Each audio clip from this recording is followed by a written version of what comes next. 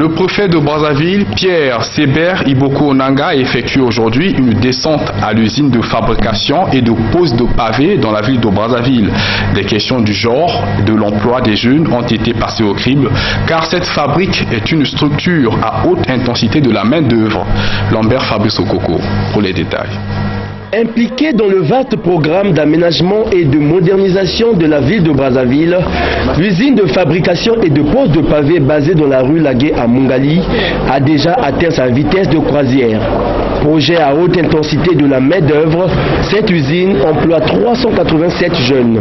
La descente du préfet de Brazzaville dans cette structure a rassuré les animateurs de celle-ci du regard bienveillant des autorités et boosté le moral des travailleurs.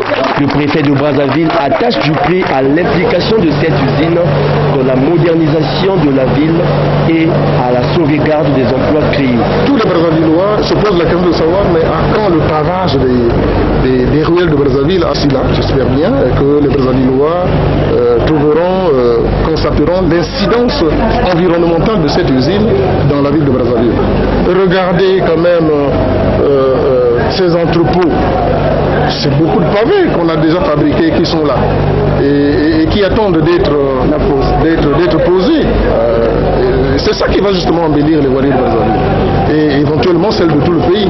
L'usine se déploie progressivement dans les différents arrondissements de Brazzaville et la qualité de ses produits force l'admiration.